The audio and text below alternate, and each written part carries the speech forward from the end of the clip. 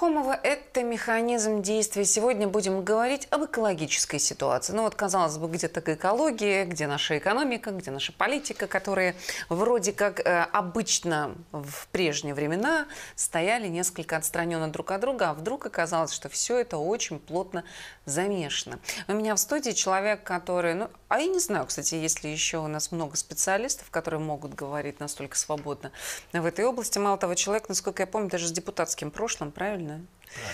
Здравствуйте, у нас в студии Илья Добрый Трамбицкий, да, эколог всея Молдовы, я бы так сказала. А, Самое главное, я предлагаю э, в этом программе раз, э, обсудить три, поделить вот обсуждение на три темы. Это первое, это, разумеется, мы начнем с э, наших лесных запасов, с наших дров ЛМНМД и не только ЛМНМД. А, дальше мы будем говорить о реке Днестре. Это ваше вообще, я бы сказала так, ваш конек. И, э, разумеется, надо будет поговорить тоже об альтернативной энергетике. Ну, как так получилось, что в, на этот раз накопилось много вопросов к вам.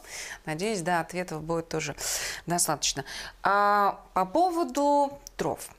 А, мы все знаем, мы об этом начали говорить еще в августе. Вот у нас проблемы тут с газовым, а, неизвестно, что там будет, будет газ, не будет, будут ли у нас деньги на то, чтобы оплатить газ. А правительство а, ну, так достаточно громко говорило и активно нам предлагало портал lemne.md. Кто не был, обязательно вот пусть люди заходят, кому нужны дрова, кто отапливает таким образом но появилось сразу же много вопросов. Ну, как бы вот эти мелочевки, там то, что работал, не работал, когда заработал, так скажем. Э, для журналистов это интересно и так скандальные какие-то детали. А в остальном, э, скажите, пожалуйста, вот того э, объема, который заявили, то есть 660 тысяч семей отапливают, якобы отапливают в Молдове дрова, дома дровами. А, правда, заявок уже там что-то около миллиона просто какие-то неимоверные. Каждому пообещали по 5, сначала по 3 кубометра, теперь по 5 кубометров. А есть ли у нас 5 миллионов кубометров дров в Молдове? Ну, конечно, эти кубометры, они есть, но если их вырубить, то мы останемся практически без леса. Речь идет о том, что э, нам не только нельзя вообще рубить практически, но там э, в обычном лесу можно, конечно, рубить старые деревья, но и они имеют свою экологическую функцию. Поэтому при нашей очень малой облесенности, официально это 11%, э, это совсем не лучший, а можно сказать, худший вариант решения проблемы. Понятно, что проблема появилась достаточно недавно – в силу геополитических проблем, которые сложились. Однако мне кажется, что все-таки ну, вся, вся Европа знает, что у нас меньше всего лесов из всех стран, и посему, на мой взгляд, это должен был бы приоритет э, для того, чтобы все-таки искать альтернативные виды топлива. Это в первую очередь уголь. Вот, для тех, у кого нет, будем говорить, газового отопления – Э, это тот же газ и, вероятно, электричество. Вот, э, которые, опять же, можно получить разными способами, включая э, солярку, мазут там и так далее. Вот, поэтому мне кажется, что нужно побыстрее искать все-таки альтернативные пути. Мы выступаем за то, чтобы леса сохранить. Почему? Потому что леса сами по себе как бы это богатство, но они богатство в первую очередь потому, что они формируют гидрологический режим. Да, у нас есть две реки, в которых пока есть вода. Вот, Днестр кстати, пруд, да, Днестр пруд, да. Вот, но большая часть территории все-таки для ирригации недоступна из этих рек.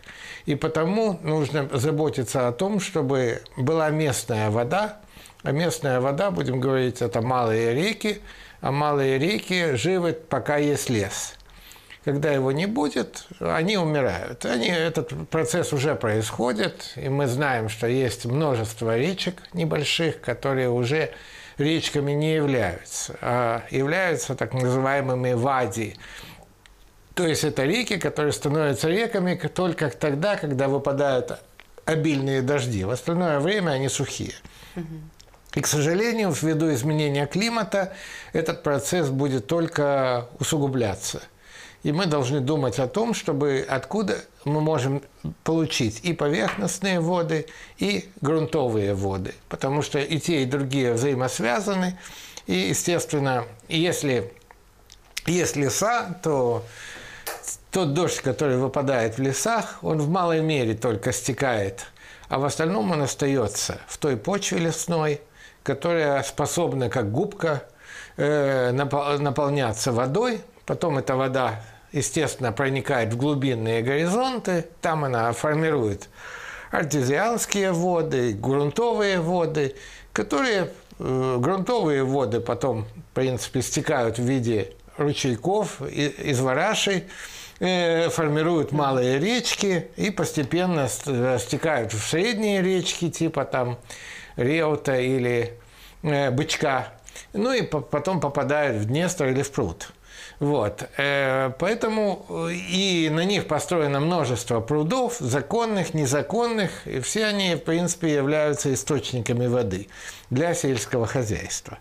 Поэтому вот только поддержанием вот этой ситуации, а ее можно поддержать только за счет хороших лесов, причем здесь надо указать, что не каждый лес хорош. Угу. То есть, а если это посадка, если это монопосадка, то есть посадка из одного вида дерева, да, она играет определенную роль, но гораздо хуже, чем это делает э, э, полноценный лес, сформированный из, из местных пород деревьев.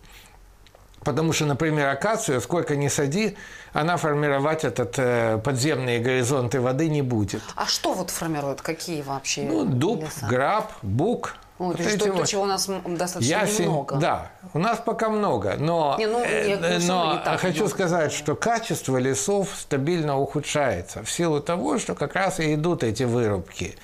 Только, э, э только дерево станет достаточно привлекательным, его рубят. Вот. А в то же время вот тогда только оно начинает играть свою экосистемную функцию, то есть оказывать нам экосистемные услуги. Это как раз Это те вещи... лет вот дерево примерно? Ну, разные э, виды деревьев, разный возраст. Но хорошо, когда после 30. Уху-ху. Вот, а то и 100. Короче говоря, чем, будем говорить, э, чем э, больше возраст дерева, Э, оно, пока оно не засохло, оно тем лучше оказывает вот эти экосистемные услуги. Ну, вот, вот. я, кстати, хотела бы еще уточнить по поводу, да, вот мы с вами говорили, цифры эти миллионы, миллионы, да, кубометров, а на самом деле я нашла, зашла на Молтсилва uh-huh. и посмотрела, что ежегодно лесной сектор а, обеспечивает национальную экономику приблизительно около 400 тысяч или 500 тысяч кубических метров древесины, да. а мы говорим о миллионах, о шести. Да. Причем здесь надо брать во внимание, что здесь указано, э, будем говорить, только официальная древесина, которая вырубается. Но оценки э, э, программы FLAG – говорят, там принимали это участие. Чья программа, что это? Это международная программа, угу. которая, в принципе, направлена на, устойчив... на повышение устойчивости лесного хозяйства и э, как бы, чтобы оно как раз оказывало те экосистемные функции, о которых мы уже говорили. Так вот, для Молдовы э, где-то на уровне, по-моему, отчет был где-то в 2012 году примерно, вот, показано, что э, официальные рубки равны неофициальным. Ага, то есть вот. можно говорить о миллионе, но э, Ну, в принципе, так получается. Тоже. Мы очень часто можем видеть э, стоящие грузовики с деревом, по крайней мере, до сих пор так было. Угу. Никто их не трогал. Вот, и так оно продолжалось довольно долго. Сегодня эти вещи более скрытно делаются. Например, там в микробусиках э, закрытых э, провозят эту древесину из леса и так далее. Но факт тот, что этот сектор по-прежнему нелегальный существует. А инспекторов экологических у нас э, раз-два и обчелся. Поэтому они часто публикуют на сайте э, вот, фотографии, задержали, посчитали. Штрафы маленькие, будем говорить откровенно. Они должны быть многократно увеличены, чтобы это стало невыгодным. Вот. Ну, короче говоря, все примерно как оно было, так оно и есть. Люди, которые работают в лесном хозяйстве, они в значительной мере привыкли, будем говорить так, жить.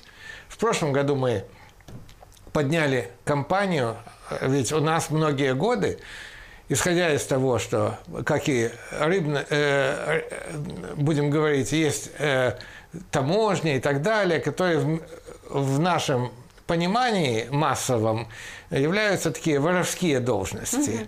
Вот, вот э, лесное хозяйство тоже, в принципе, относится к этим областям, поэтому правительство много лет назад решило, что э, вообще не надо никаких бюджетных денег выделять заповедникам. Поэтому... Лесничество же тоже там что-то переводили, это какой чуть ли не хозрасчет. Да, примерно так. И вообще по, по э, нынешней классификации, которая пока что не изменилась, все заповедники, они являются, э, ну, будем говорить, э, или да, предприятиями, да, да? публичи, угу. да. Э, то есть э, они, в принципе, как бы, получается, что они должны сами выживать. Естественно, они выживают за счет продажи Э, древесины там и чего-то другого немножко.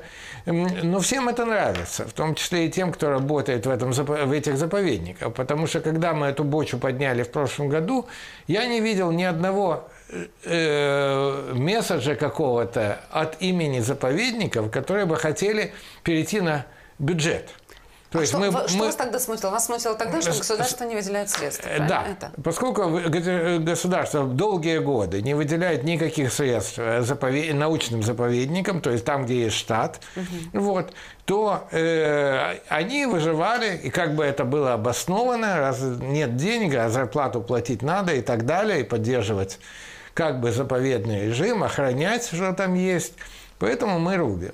Вот. Ну, естественно, в заповедниках есть зоны, то есть есть зона абсолютная защита, есть э, буферная зона, экономическая зона, э, э, где, где можно, в принципе, что-то рубить.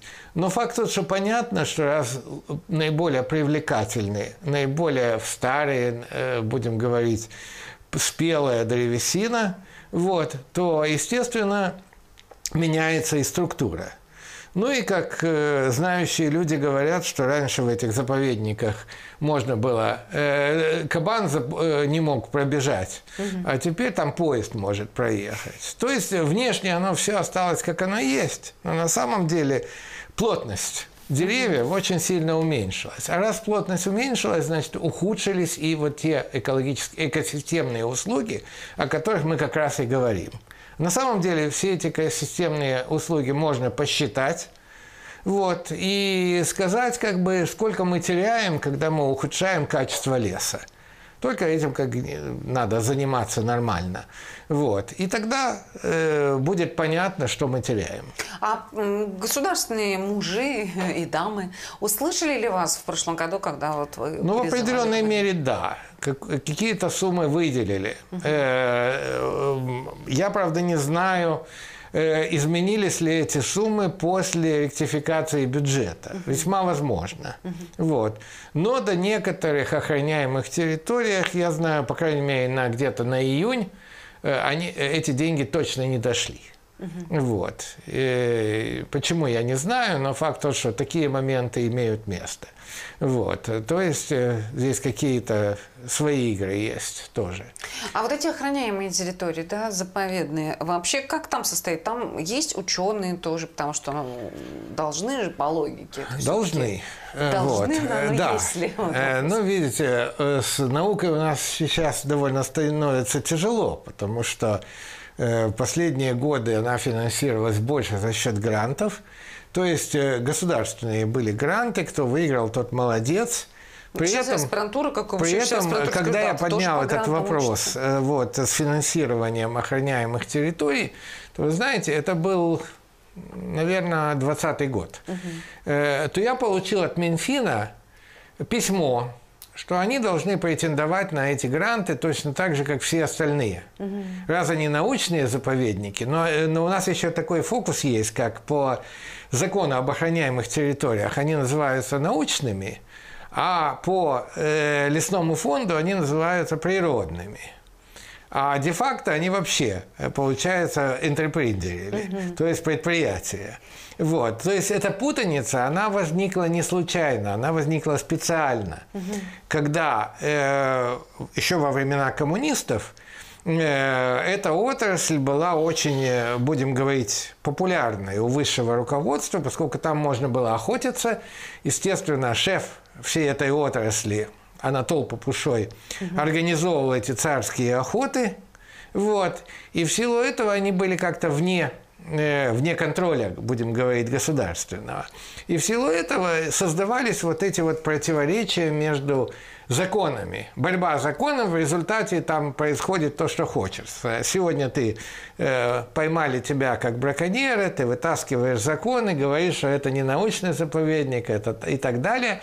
Короче говоря, такая вот э, ситуация в отрасли довольно долго существовала. Сейчас там пытаются навести порядок. Но, с другой стороны, появился закон об охоте, который был создан еще, э, будем говорить, в 2018 году. Вот, э, у нынешнего министерства окружающей среды чесались руки его изменить в лучшую сторону. Но, видимо, вот эти все тенденции, которые сегодня наблюдаются, я бы назвал их в целом антиэкологические, они, конечно же, помешают э, этому процессу, и те начинания, которые были у Министерства окружающей среды, они потребуют какой-то поддержки извне, чтобы все-таки быть реализованы. А что там за конфликт? Я знаю, что с охотниками они там как-то вот прям сильно не, недовольны всеми изменениями. Э, ну, дело в том, что, во-первых, э, будем говорить, как каждый год принимаются вот эти нормы отстрела – там оказались виды, которые по европейскому законодательству должны охраняться. Угу. Вот. Э, и, конечно же, на самом деле этих, число этих видов, которые подлежат охоте, нужно сильно ограничить. Вот, э, вот такая тенденция сейчас наблюдалась уже. Вот. Но, в принципе, у нас, в силу того, что у нас охотников больше, чем дичи, конечно, э, эту проблему трудно решить, потому что э, они, э, это первый момент. Второй момент – то, что, в принципе, существует монополия в законодательстве, что одна неправительственная организация оказалась лучше других, и в силу этого э, обладает как бы функциями, в том числе и государства. Угу. Вот. И, э, в принципе, это противоречит, будем говорить, э, законодательству, что ни, одной, ни одна некоммерческая организация неправительственная не может иметь преимущество перед другими. Угу. Вот. Это, в принципе, подход Европейского Союза и так далее. Но, тем не менее, у нас в силу того, что некоторые равнее, равнее такое происходит. Вот. А, по поводу, да, э, вот этого вырубания лесов, ведь мы еще говорим, вот как раз э, охотники могут включиться, и дичь, которая их интересует, тоже может исчезнуть. Это ну, же... в принципе, э, мы уже просто забыли. когда мы говорим, что вот есть редкие виды, есть красная книга, мы их должны охранять. Где, то... Вы знаете, в школах, по-моему, даже не рассказывают, что есть красная книга. Есть красная книга, есть издание такое красивое. Mm. Всего оно стоит порядка 600 лев. Э, в магазинах можно купить, на нашем сайте можно скачать угу. ее бесплатно. Это экотирос, эко-тирос.орг. Но не в этом дело. Э, э, дело в том, что для того, чтобы вид жил, ему нужны условия. Такие, которые подходят этому виду. Сколько мы не будем писать, что их надо охранять, толку от этого никакого не будет, пока мы не создадим те условия или не сохраним те условия, которые нужны для этого вида. Вот как бы это азбука. Вот, поэтому э, любые действия э, хозяйственного характера должны быть подвержены оценке воздействия на окружающую среду, в которой эти вещи должны быть предусмотрены. Другое дело, когда проект реализуется, зачастую эти вещи не соблюдаются. Но у нас так мало естественных территорий, что, в принципе, э, ну, говорить о том, что мы можем как-то что-то сохранить серьезно, не приходится. Особенно большой вред был период, когда активно брали в аренду лес. Угу. Это тот же период, о котором я уже говорил. И в этом случае, естественно, тогда э, человек э, э, строил на э, фундаменте дом, естественно, он воспринимал это как место отдыха, там звучала музыка и так далее, раздавались крики, естественно, гуляющей компании – и, значит, в радиусе минимум 500 метров там уже ничего живого не могло народу, быть. Да. да. А у нас есть виды, например, черный аист, который mm-hmm. не терпит никакого шума. Ну, куда ему деваться?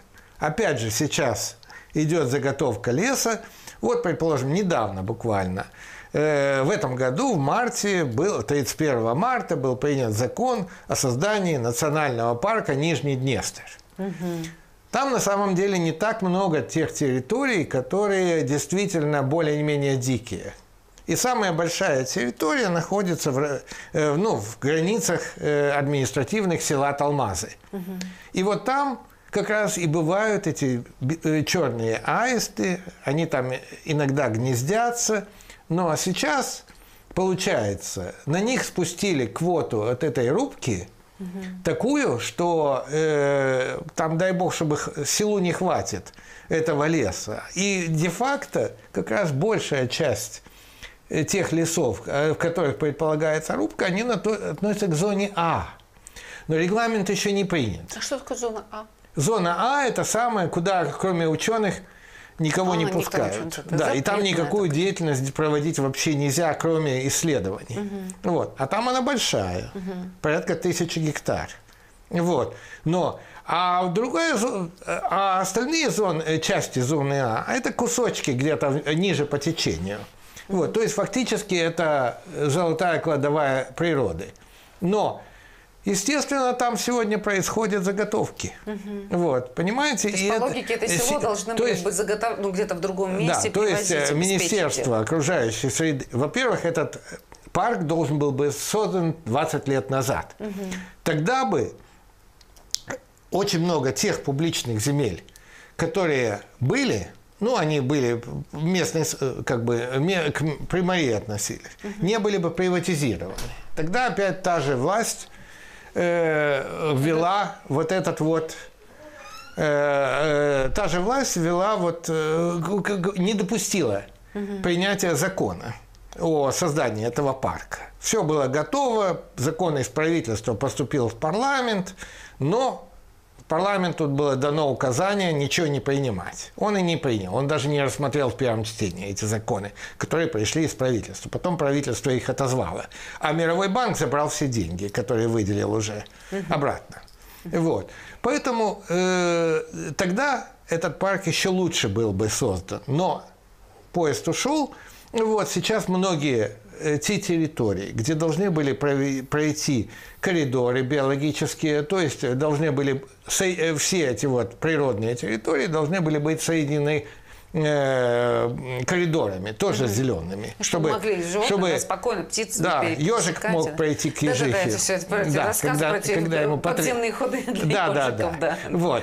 Сейчас, к сожалению, в значительной мере это утрачено, но согласно закону очень быстро это э, министерство должно принять регламент этого парка. Пока этого регламента нет, там идут усиленные рубки. Угу.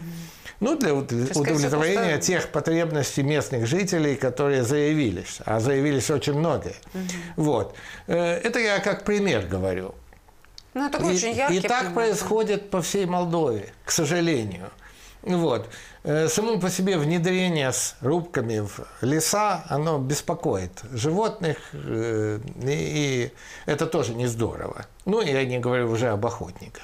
А, вот. Вы знаете, мы говорим с вами о заповедниках. Для меня это какой-то такой, знаете, период, э, так скажем, вот какого-то, такого советского застоя, когда вот мы знали, что вот есть заповедники, есть Красная книга. А сейчас в период, когда а, выживаем в этом году вообще, это мы не знаем, ну, по крайней мере, все страха нагоняют жутко-жутко. Мне кажется, зима будет намного проще, вот, чем э, эта паника, она на самом деле очень вредна, потому что люди просто, не видя выхода, они выходят и рубят. Причем они боятся, что сосед срубит раньше, Да-да-да, чем, кто они, быстрее бегут, чем да. э, они, поэтому они, у них там социалистическое этот- соревнование И вот происходит. этот миллион, это понятно, если было заявлено, что 660 тысяч семей отапливают дома а, дровами, и вдруг у нас миллион заявок, ну, простите, это понятно, что будут перепродавать очень многие. То есть у Конечно. нас, конечно, будет, да, и вместо трех кубометров 5 кубометров, хотя мы видим, что как бы раньше была закупка Да, гораздо, это, гораздо меньше. на мой взгляд, это очень нездоровая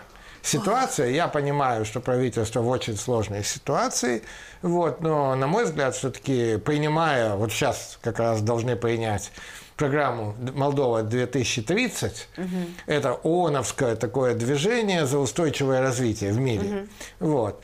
И получается, что там записано, что мы должны облесить еще, по крайней мере, в проекте было 50 тысяч, э, 50, э, м, э, 50 тысяч гектаров. Э, Майя Санду говорила о 100 тысячах гектарах. Что это, так- что это за цифры? В лучший год советской власти, имеется в виду, когда этим очень активно занимались, 11 тысяч гектаров сделали за год. Вот. А сейчас у нас получается, что мы должны поработать так же интенсивно, как и тогда. Но а вот эти 50-100 тысяч, это за какой период мы должны? за 10 лет. За 10 лет. Ну, это да. Это... Да. Смешно. Э, вот. Э, то есть это по 5 тысяч, 10 тысяч в год надо сажать. Вот. И в, в нынешних условиях это вообще мало реально, потому что приживаемость гораздо ниже, чем тогда. Э, Осень уже, потому что осень не осень, весна не весна, воды мало, Э, воды в почве очень мало. Да.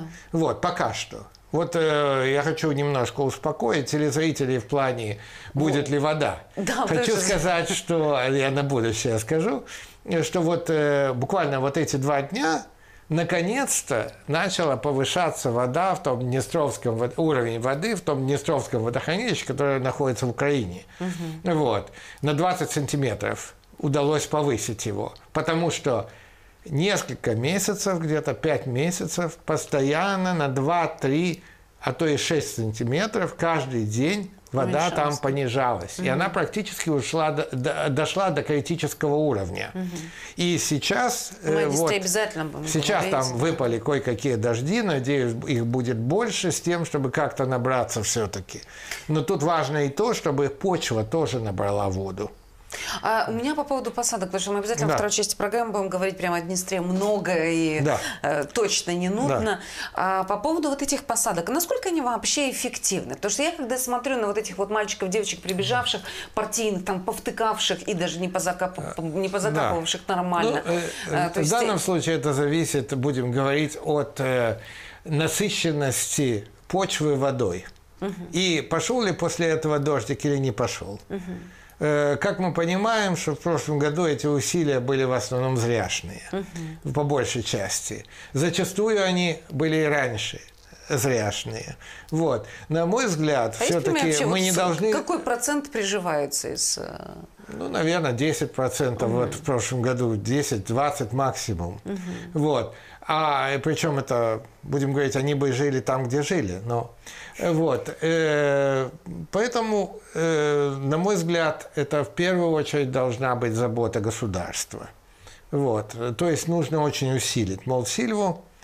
Наверное, там предполагались какие-то реформы, вот, но независимо от того, дереву все равно, какое законодательство, Да, кому, и кто кто им у власти, управляет, да. так же, как и природе в целом. Поэтому важно делать правильные шаги. Вот. А правильные шаги заключаются в том, чтобы, когда са- садят, после этого минимум три года за этой территорией, за этими насаждениями наблюдали и помогали им. То есть по- э, привозили воду, поливали и так далее. Ну, я Вот. просто хотела сказать, что на, на даче приживаемость просто колоссальная, Да, потому что да, поливаешь, да, а здесь да, следишь, да, а здесь да. так мало. И именно а, потому а что вот по поводу качества а, посадок, потому что ну, вот вы говорили о том, что для того, чтобы лес был действительно качественным, должно быть разнообразие Да. да, видовое. А в- когда сажают, сажают, тут мы сажаем, гоп, вот Что- этот гектар что- у нас там Что дубы. есть, я и, и потому и говорю о государственном подходе. То есть есть институт э, исследовательский ИКАС, который находится как раз вот недалеко здесь. Э, он сохранился? Он сохранился, да. А его, Там он хороший... не, подпадал, не подпал под вот эти вот наши... Мне кажется, нет. Угу. Вот. И там хороший директор, грамотный, Э, вот, я бы на вашем месте его тоже бы пригласил. С удовольствием. Вот беру да. заметку обязательно. Запиш, да. Запишите потом данные. Угу. Вот. Э, а, но э, нужны средства. Я думаю, что на эти цели легче всего найти средства за рубежом, угу. но так, чтобы это во-первых, и кадры готовились нормальные для этих целей, потому угу. что у нас по многим областям вообще кадры не готовят в стране, и мы теряем. Угу. А люди уходят на пенсию, и, и в принципе нет замены. Вот, это по многим областям. Угу. Вот, некому, например, в лабораториях работать э, для того, чтобы, в принципе, контролировать качество окружающей среды и много других областей. Притом самое интересное, что тоже власть сменится как угодно политически, да, экономически, а этом, а это нужно будет А всегда. это абсолютно нужно заботиться да. о том, чтобы были хорошие специалисты. Угу. Вот. И э, здесь нужно планирование, то есть нужно изучить э, почву, вот, изучить ситуацию с э, водос, будем говорить, водонаполнением почвы, и из, исходя из этого подбирать породы. Соответственно, должны быть питомники, вот, чтобы все это было. Это за один год не сделаешь. Это долгий процесс, но это первостепенное внимание этому надо обратить, потому что любые начинания, любые крики про изменение климата и борьбу с засухой и так далее, они в конечном счете за, заканчиваются одним. Откуда взять воду? Воду можно взять только из леса. Вот. Поэтому э, лес должен быть главным, э, главным, главной целью. Более того, у нас много, слишком много э, сельскохозяйственных территорий. Угу. И у нас нет людей, которые будут работать руками э, на этих территориях. Поэтому естественен э, в сельском хозяйстве переход на те культуры, которые можно обрабатывать, э, будем говорить, э, ну, механически. Угу, ну, да. ну, в основном это кукуруза, это пшеница, это подсолнечник. Вот. И из-за этого в принципе, мы очень много теряем, потому что э, земли заняты этими культурами, земли очень быстро теряют воду, э, и а, эти культуры очень подвержены засухам. Угу. Как повезет, каждый год сажают наши сельхозники, будем говорить. И вот э, вместо этого, опять же, нужно политическое решение по увеличению лесных площадей и уменьшению площадей вот этих вот, э, которые под сельским хозяйством, особенно под теми, будем говорить, культурами, которые очень быстро теряют воду. Вы же понимаете, что никто не пойдет на это, потому что тут у нас, вот, понимаете, предвыборный ну, всегда. Ну, видите, у нас... Вечно, да, и у э, кого-то решать их в Я не знаю, сколько раз э, я говорил, десятки раз, о том, что у нас... Еще я наблюдал во втором парламенте, когда были сильны аграрии, вот, земля должна работать. Угу. Неважно, есть куда деть этот э, продукт э, полученный или нет куда, э, или он будет за бесценок продан, но земля должна работать.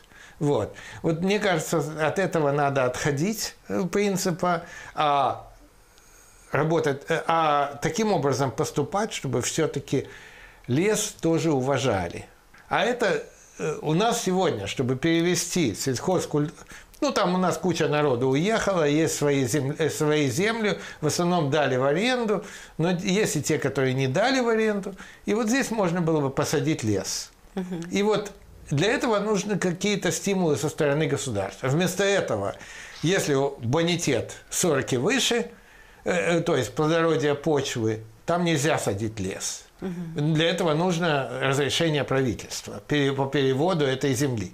Это очень бюрократично и э, на самом деле работает против страны. Вот.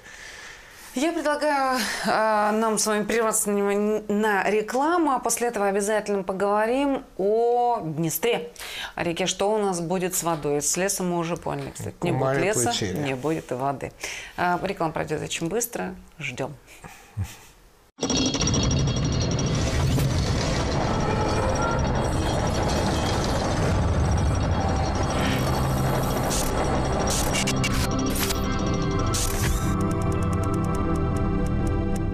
Это механизм действия. Вместе с Леей Трамбецким мы говорим а, об экологической ситуации, которая вдруг оказалась у нас еще и экономически очень важной для нашей страны.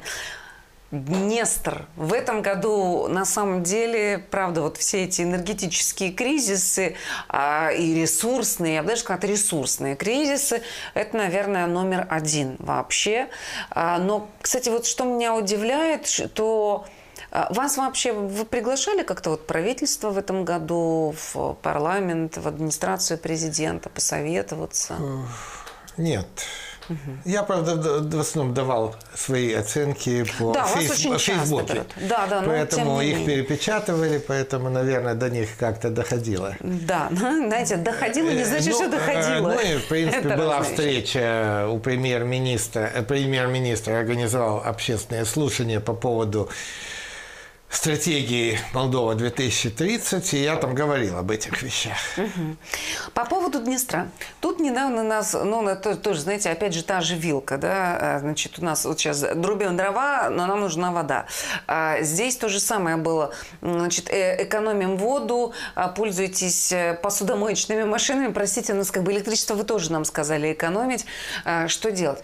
С Днестром что у нас происходит? Вообще вы являетесь противником участником а, строительства вот с украинской стороны этих ГРЭС, ГЭС. Вот ну, вы знаете, тут этого. неоднозначный вопрос, потому что э, ну, того, вот, вот этот гидроэнергокомплекс, о котором мы обычно говорим, он уже де-факто построен, он угу. только достраивается. То есть мы можем но, что угодно но, говорить, но ничего не изменится. В принципе, так.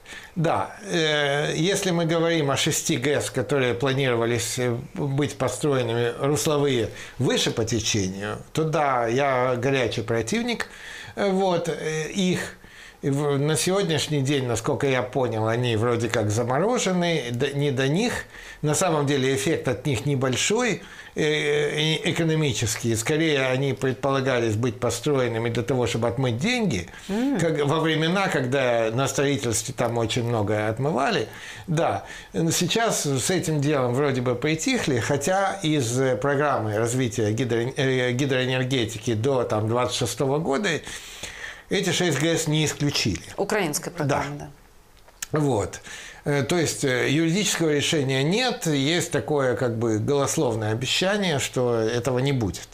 Вот, пока что. Пока не оценят все последствия, позитивные, негативные и так далее. Ну, наверное, это, так сказать, реверанс такой. Вот. А что касается трех э, гидроагрегатов, которые будут построены сами по себе, они не несут большого вреда.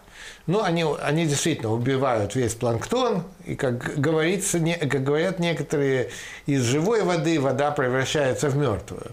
Ну, жалко, конечно, планктон, дафний, циклопов и так далее, но э, по большому счету для Днестра нижележащего очень, более важен э, э, э режим работы э, ГЭС-2, то есть, который находится в Наславче, вот, и она может пропускать воду, когда хочет.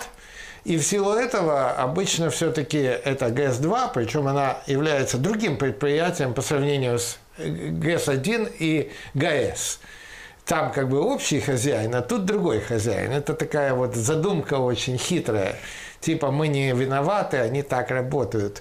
Вот, вот эта вот ГЭС-2, она в принципе создает большую амплитуду уровня воды в силу того, что, конечно же, те гидроагрегаты, которые электро, которые были построены уже в постсоветский период, то есть это в 99-м, 2000-м, 2001 они, э, естественно, э, владельцы заинтересованы в том, чтобы они работали тогда, когда электроэнергия нужна, и не работали, когда она не, она не нужна а наоборот как бы экономили воду. Так вот, и с тем, что предполагается поднять на 7-8 метров уровень буферного водохранилища, естественно, там будет получаться больше энергии. Хотя, в принципе, количество энергии этой ГЭС-2, оно несравнимо, оно гораздо меньше, чем ГЭС-1 и ГАЭС.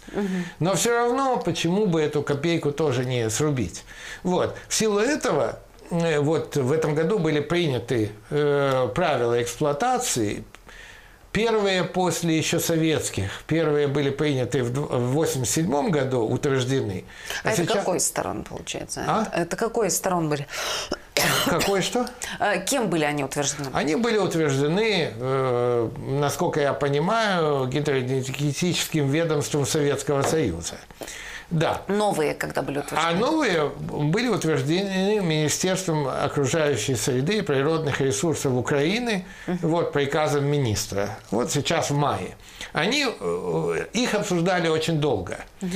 Ну, минимум 12 лет. А с нами вообще советовались? Да, да уже хорошо. Э, значит, эти обсуждения очень шли живо и так далее.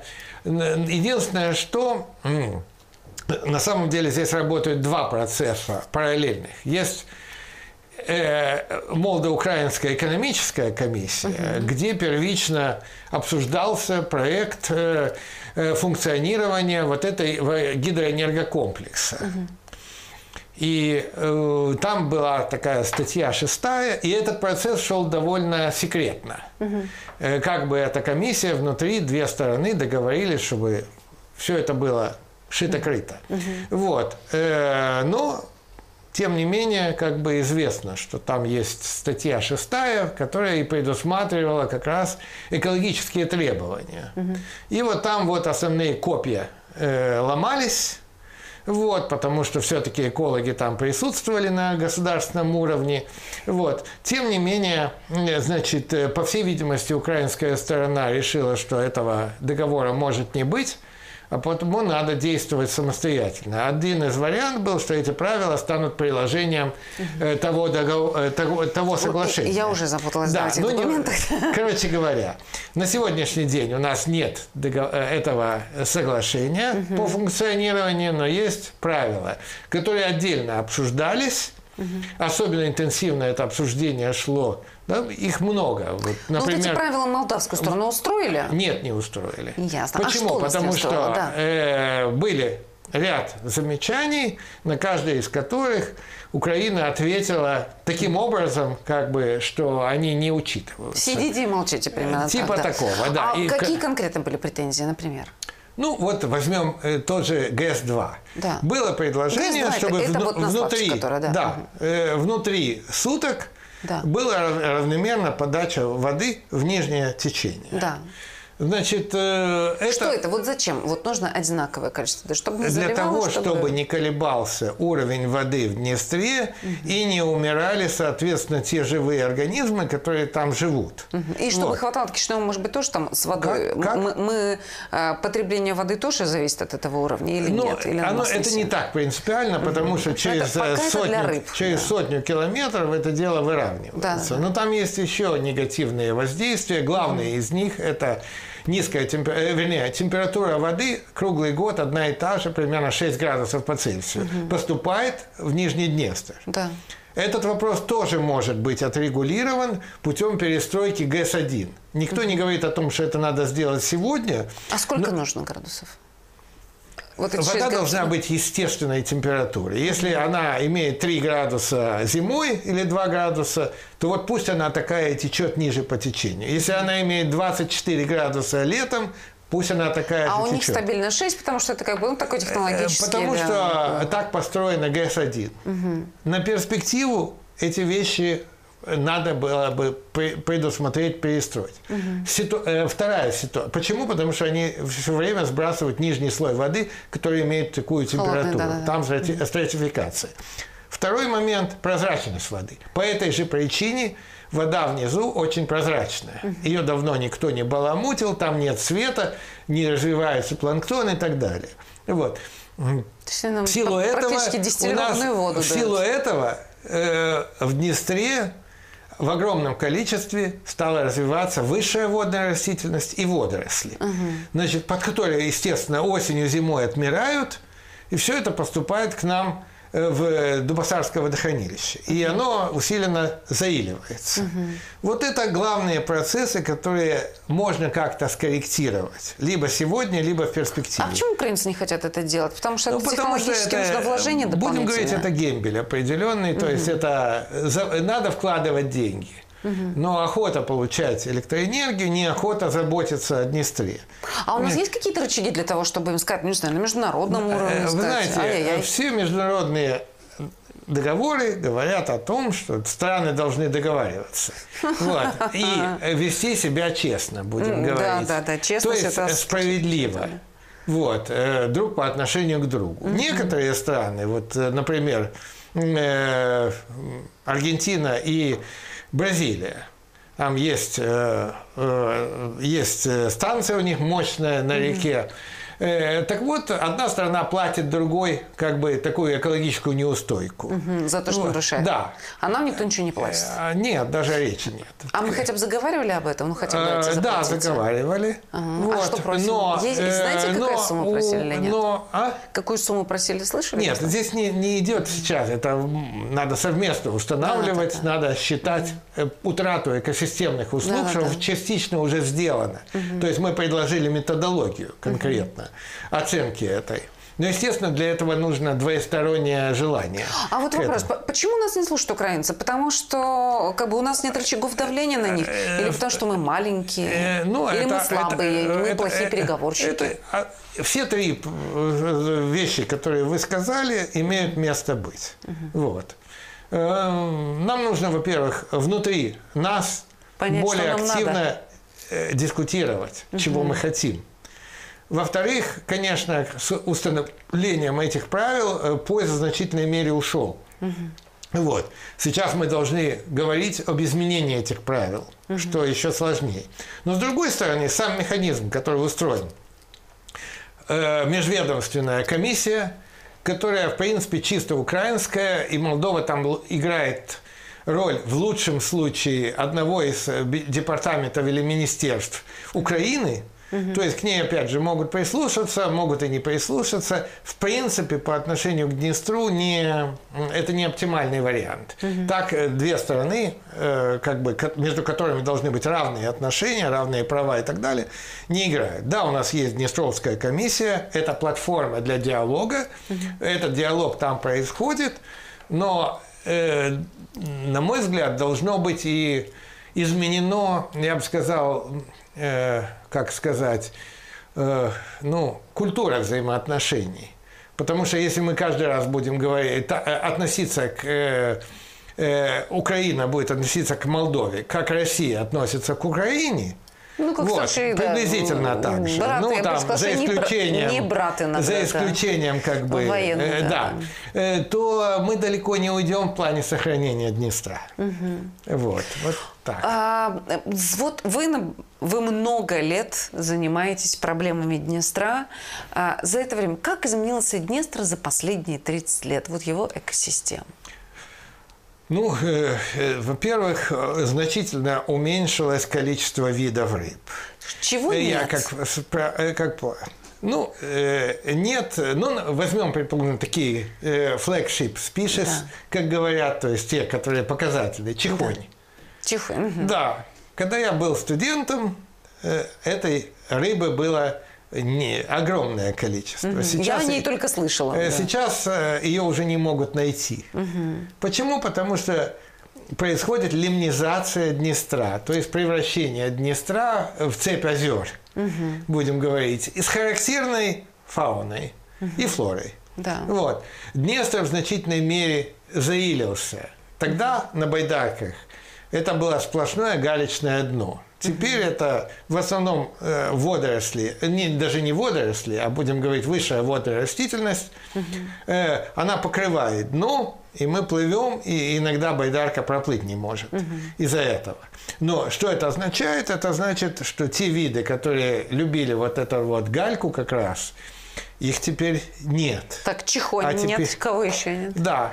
Чего, кого? Э, всех видов, которые, все виды, которые представляют э, какую-то, э, будем говорить, коммерческую ценность, имеется да. в виду, их можно кушать, они крупные, они в значительной мере уменьшились в количестве. Угу. И наоборот, появились виды, которые которые малоценные, короткоцикличные. То есть они там маленькие, э, э, зато очень плодовитые, и они замещают те э, виды, которые э, съедают их еду. Соответственно, у нас гораздо меньше того же судака, у нас гораздо меньше, предположим, там, ну, крас- про краснокнижных я, виды я уже не говорю, линя нет, предположим, э, нет, э, э, очень мало. Да. Вот. Э, потом э, э, ну, практически голавль, подуст, все эти виды, они стали достаточно многочисленными, малочисленными. Вот, те, на которые, в общем-то, ну, сазан еще есть, карп сазан, вот, э, Толстолобик э, довольно много, но это то, что попало в результате каких-то аварий из прудов. В основном, потому что эти виды не размножаются в Днестре. Вот. Ну, есте- очень много бычков, их разнообразие только увеличивается. Вот. Но опять же, э, они только мешают ловить рыбу. Вот. В общем, э, ка- кардинальные изменения. А в перспективе вообще каким станет Днестр? Это действительно будет просто у нас череда Нет, он будет просто, с одной стороны, там будет постепенно уменьшаться количество воды, а с другой стороны, э, будет происходить, продолжаться этот процесс э, уменьшения количества видов и вот, э, вот эта замена э, тех видов, которые представляют интерес для рыбаков, на те виды, которые малоценные. А, и ну, инвазивные в том А, числе. Вы видели, что э, сейчас в Кишиневе, да, я, э, вот эта наша река Бычок, э, м, я не разбираюсь в том, как это сделано, не сделано, то есть скорее вы можете сказать, хорошо ли сделана вот эта рас- расчистка, по крайней мере, я впервые, ну, во-первых, мы видим не только в момент э, ливней, что там что-то уже течет, вот, а во-вторых, я даже видела э, мужчин с удочками там, чего я не помню, я даже в детстве своем не помню этого. Вообще, ничего они там поймают, и стоит ли им это есть? Ну, вы знаете, на самом деле у нас не так много промышленности работает. Поэтому если, Что если что-то пла- ситуации, да. плавает, пусть ловят. Но э, качество, э, качество речки зависит от того, какая, как э, происходит деятельность в бассейне. То есть, если там очень сильно происходит эрозия почвы, смывается, значит, активно происходит заиление. Если много используют э, стиральных порошков, а так оно и есть, Да, да, и причем эти стиральные порошки сильно. стекают в речку, это тоже негатив. Вот. Э, ну, ча- э, я не могу сказать, что я позитивно отношусь к тому, что случилось с бычком. Вот этот э, план. э, Это всё-таки в- искусственное, В да, принципе, какая-то такая? нужно было бы восстановить как бы его более извилистое русло и, и не покрывать и не покрывать бетоном. Вот. Потому что летом я помещал фотографии, которые, где практически все покрыто э, зелеными водорослями. То есть э, это свидетельствует о большом органи- органическом загрязнении. Определенная очистка происходит, конечно, в Гидгиче. То есть там самоочистка происходит внутри. Но потом все одно прункулы и так далее, все это э, продолжает э, усиленно загрязнять, люди продолжают мыть машины. Я уверен, что многие стоки нелегально текут в этот же... Да, да, да, да. Потом притоки у бычка есть. Они тоже приносят э, всякую гадость. Вот, и поэтому в целом пока не могу сказать, что что-то улучшилось. Недавно подводили итоги первых шести лет э, э, плана управления молдавским участком бассейна Днестра. Вот. Ну и что? Выявили, что ничего не изменилось к лучшему. Вот как бы, то есть план принят был. Кто подводил итоги, наше правительство или кто? Э, Нет, э, есть такой э, бассейновый совет дистрикта Ди- Днестра. Дистрикт это несколько, да. молдавская часть, э, будем говорить, бассейна реки Днестр. Вот. Ну и что, выяснилось, что ничего практически... Ну, во-первых, многие мероприятия запланированные, ну, там типа сорок и так далее, они в реальности не реализованы. Вот. э, э, Да, ну, там канализация просто напрямую дошла. ну да, ну, Ну, в, мало- прин- не в принципе, Саровске, сейчас да. деньги есть на то, чтобы реализовать этот проект все-таки до конца. Вот. Но до 25 года теперь план был до 22 Вот. Э, Но не одни сороки. Проблема в том, что и в Украине, и в Молдове практически нет очистных сооружений, где бы осуществлялась полноценная биологическая очистка. Угу. То есть что-то там оседает, э, физическая очистка, будем говорить. А что касается биологической, то есть, э, та же органика вся поступает в Днестр практически. Угу. Вот это, плюс к этому постоянно люди все больше используют химикатов, в первую очередь, это детергенты, конечно, угу. стирка. Вот, и все это дело, к сожалению, поступает. Плюс к этому огромное количество э, фармацевтики поступает. То есть людям просто до сих пор сейчас уже вроде как-то решается этот вопрос, но я не уверен, что как-то э, люди реально, э, когда проше, э, старые Истекший, лекарства, да, старые лекарства, на самом деле они сохраняют свои, будем говорить, основные свойства, вот, их выбрасывают, их выбрасывают или в канализацию, или в мусор. И так, и так они поступают потом в воду, будь то грунтовая вода, поверхностные воды и так далее. Вот, вот это вот проблема, очень большая проблема, потому что у нас, будем говорить, сегодня э, в любой рыбе вы найдете все эти вот э, лекарственные вещества, особенно антибиотики, вы съедаете эти антибиотики, у вас э, потом организм не реагирует на уже, э, да, микрофлора организма потом не реагирует, когда вам это сильно надо, будь то ковид или будь то любая другая зараза, но э, болезнь, но, но не, не, не реагирует. Ну, тут замкнутый цикл, да, вопрос. Э, да, но это... эти вещи все... Я пару лет назад поднял этот вопрос. И действительно... А что нужно делать? Но все равно мы едим медикаменты, то есть медикаменты. Это правда. Да. Но мы едим, да, с, естественно, с из, из нас это дело все, но, да, но да. все-таки надо бороться с их количеством, потому угу. что сегодня это количество неимоверное. И разнообразие тоже неимоверное. По поводу воды. Несколько, ну, наверное, с десяток лет назад я слышала о том, что а, наступит момент, когда вода станет своей новой валютой. Когда Мы ее... к этому идем, в принципе, потому что чем меньше воды в Днестре, тем больше э, она загрязнена, потому что все равно стоки идут примерно те же. Угу, только концентрация. Вот. Раньше только концентрация как бы можно было, больше. Да, чтобы Соответственно, разбавилась галькой. Все, там, время мы будем платить больше за воду, потому что будет дороже ее очистить качественно. Угу.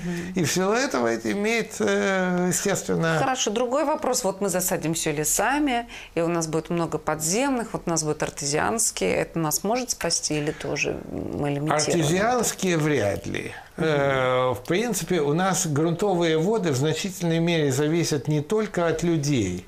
Действительно, вот что касается азотное загрязнение, нитраты, то, что в конце э, Советского Союза очень сильно по политическим мотивам педалировался этот вопрос, э, что у нас вода содержит много нитратов и так далее, потому что в Советском Союзе использовали много удобрений и так да, далее. Да, да, это очень много. Прям вот один ученый из, вернее, группа небольшая, в 1995 году из нашей Академии наук, угу. провела исследование, э, как бы, вот количество нитратов. Угу.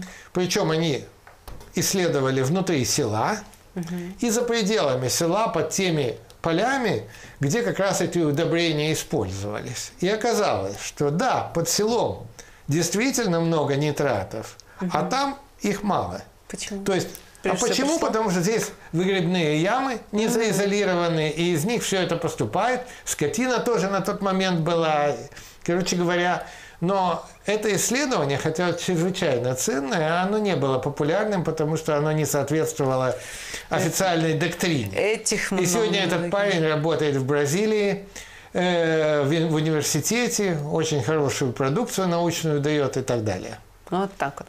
Да. И по поводу альтернативной энергетики. Насколько вы оптимистично к ней относитесь? Всякие там тепловые насосы, это вот там да. тепло земли. Это На мой взгляд, потом... это очень хорошая штука. Угу. Более того, популярность будет сейчас в силу понятных причин стремительно расти. Э, зачастую э, это дорого. Вот, но это И может быть гораздо... да. Но при массовости это может быть гораздо дешевле. Не обязательно это должны быть э, солнечные батареи, это могут быть тепловые коллекторы. И есть неправительственные организации, которые это активно продвигают и показывают, что это гораздо дешевле, чем э, вот. Можно скопить под домом, предположим, если там будут установлены тенки с водой, э, очень много тепла. Вот. За счет того, что все лето эту воду подогревать. Э, И, и если они будут изолированы, то потом они очень помогают в, том, э, в период зимний. А кроме того, эти тенки, они, э, эти коллекторы, они, в принципе, могут работать и зимой от солнца. И они прекрасно согревают воду, которая может циркулировать по дому. То есть для сельских жителей это очень хорошо.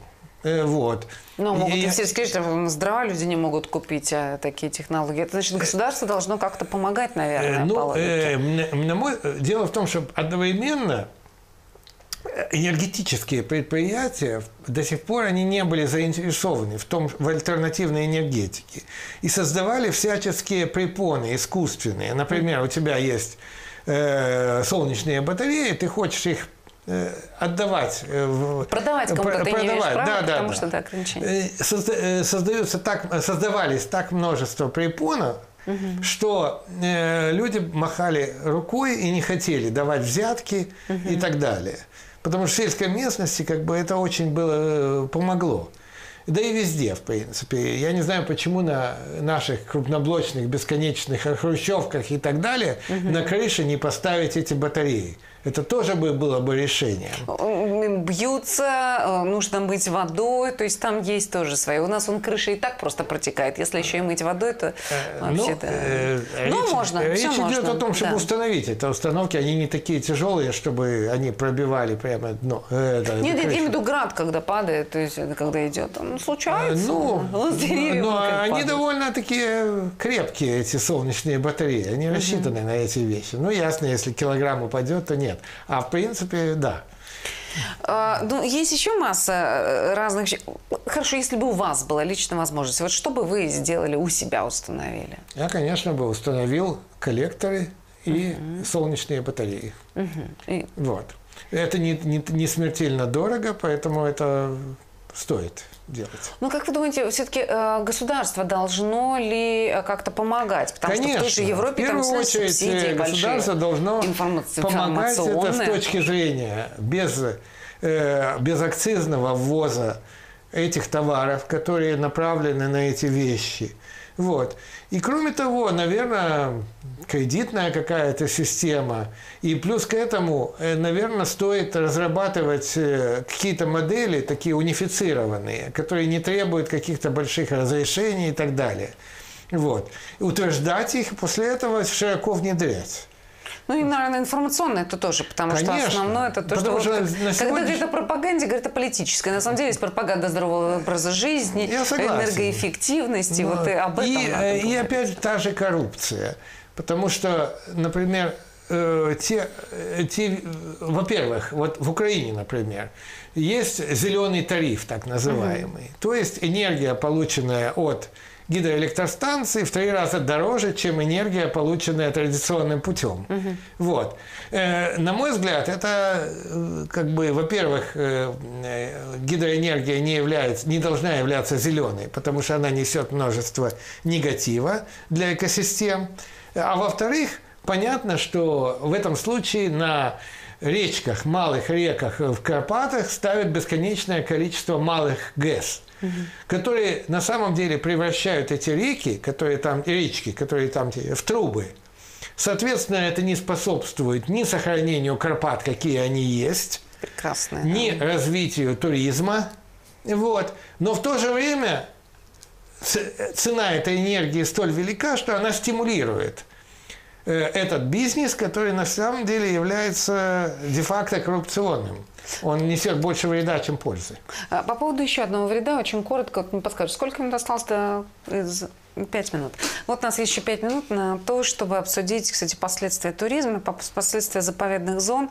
И, может быть, знаете, э, я помню, на, э, была такая новость, что на определенных островах а где своя там флора и фауна, они сохраняют периодически, просто запрещают туда ездить туристам для того, чтобы не стирали. А в предыдущие годы, когда началась пандемия, сейчас у нас боевые действия рядом идут, а люди изменили а, свою траекторию передвижения, стали больше передвигаться. И у нас очень сильно пострадало Костяжское водохранилище, и рядом вот все, что там находится, пещеры, очень многое как бы просто было стерто в пыль, и как бы вот это да. красота, да, эта подножная, она исчезла. Как вы думаете, должно ли государство еще и на это обратить внимание и как-то перенаправлять? Может быть, больше заняться туризмом и говорить, ребят, давайте в этом году вы сюда сходили, Нет, вот этого, сюда не ходим. Мне дальше, кажется, туда. что э, для этого нужны для охраняемых территорий регламенты, планы управления. На сегодняшний день они не предусмотрены даже для вот этих вот э, э, ключевых кодеры, там, плавил фагулы и так далее – не, сегодняшнее законодательство... Толтры, толтры вообще, по-моему, нигде они как-то не фигурируют. Это особо, у них да. ниже статус. Но тем не силу, менее, да, да. правильно. Поэтому всем этим надо заниматься. Другое дело, что я говорю, что даже для кодер, предположим, нет э, плана управления сегодня. Угу. По новому законодательству, наверное, будет, но пока его нет. Вот. Все эти вещи должны прописаны быть. И более того, должны быть обсуждены и как-то ну, нельзя э, прессинг большой делать туризма в силу двух причин. Во-первых, это распугивание местной фауны, а во-вторых, не все Иногда люди, и местного населения не тоже. все люди ведут себя культурно. Да. Вот, это и мусор, и желание заготовить себе какой-то сувенир – угу. как вы говорите, в пещерах. Да, да, люди да, себя ведут зачастую даже не как пещерные люди, которые заботились, в принципе, об этой пещере как-то. Это а как э, те, которые никогда туда больше не попадут. Это большая проблема, согласен. В общем, да, я так понимаю, что вопрос... Но это, очень... понимаете, Опять же, у, государ... у правительства приоритеты. И ну, сейчас всегда, они вообще, да, у них всегда, в горячем режиме. Это во все времена э, окружающая среда была на последнем месте. Это не исключение и сейчас. С какой легкостью решили вопрос по вырубке лесов, э, это характеризует. И наша министра ушла, на мой взгляд, вполне справедливо, потому что если ты не согласен и не можешь что-то сделать, чтобы э, твоя линия продвигалась, то надо уйти. И этим показать, что... А она была за сохранение, то есть она была против вырубки? Ну, конечно я не, я не, это внутрипартийный вопрос, но зная ее, я могу с уверенностью сказать, что так и было. Она не могла такое поддержать. А более на, нее, на нее еще повесили эти рубки, и этот сайт Лемнем, вот, который, конечно, немного дает, он только там не так много информации на самом да, деле. Да, там все скукожно очень. Да, Но, да, да. Кстати, то же самое, да, мы видели, что э, точно То так же министр был, сельского хозяйства Я ушел. думаю, что это был просто повод. С другой стороны, они находятся как загнанная кошка где-то в углу, вот, и э, поэтому принимают зачастую неправильные решения. Спасибо вам большое за эту беседу. Было да. интересно, необычно. Я думаю, что как-то... Э, хотя в последнее время, по-моему, зрители механизма действия привыкли к тому, что мы поднимаем э, гораздо более э, редкие для телевидения и, в принципе, для молдавских СМИ на данный момент темы. Спасибо вам огромное за Спасибо эту беседу. Еще встретимся. Да, у вас есть наводка. Обязательно пригласим еще людей, которые хорошо разбираются в экологии и в лесном да хозяйстве. Это был «Механизм действия». Я Елена Людская-Пахум. Мы встретимся здесь, на НТВ Молдова, через неделю, каждую субботу, как обычно. Thank you.